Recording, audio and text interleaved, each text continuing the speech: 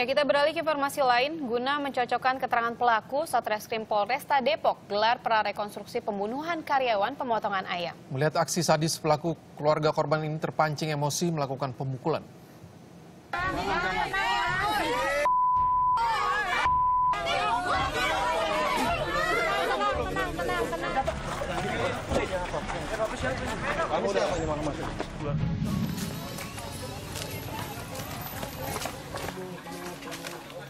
Andi Mardiansyah, pelaku pembunuhan terhadap Hasbuloh, Senin siang jalani prarekonstruksi di lokasi kebun pisang di Jalan Bango, Grogol Limo.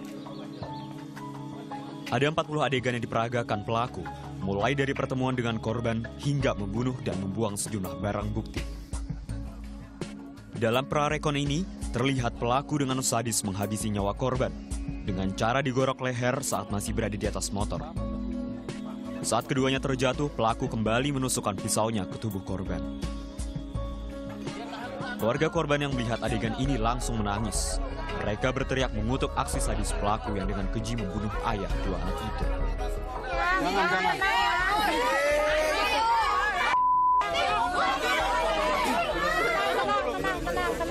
Bismillah. Tahan, tahan, tahan. Ya udah, udah tahan, sabar, sabar, sabar. Dia itu bukan manusia.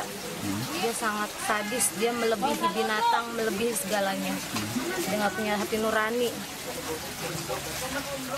Orang seperti itu sudah tidak bisa dimaafkan lagi. Harus dihukum mati. Demi keluarga kami, demi anak-anak kami yang ditinggalkan. Yang tidak berdosa anak-anak kami yang tidak tahu apa-apa harus menerima seperti ini. Ada 40 adegan yang diperagakan pelaku.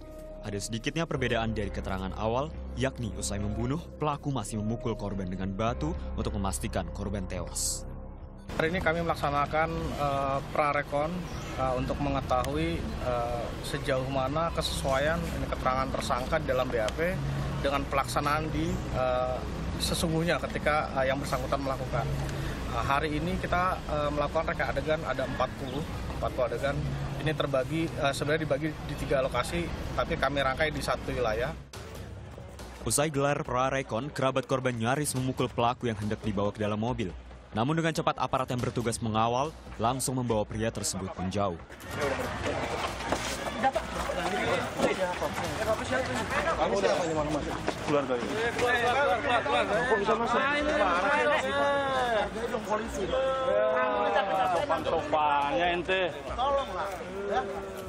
Atas aksinya ini pelaku dijerat pasal berlapis, yakni pasal 365, pasal 338, dan atau 340 dengan ancaman hukuman 20 tahun penjara. Damar Pamungkas melaporkan untuk NET.